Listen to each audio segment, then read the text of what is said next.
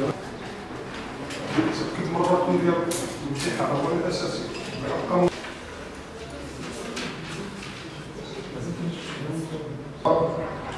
Le port d'un portable de اليوم الحمد لله انطلق الاختبار الوطني لامتحانات البكالوريا اللي انطلقت في أكثر من 249 مركز امتحان على مستوى الجهة والتحقوا أكثر من 64 ألف مترشح ومترشحة منهم 16 ألف مترشح حر.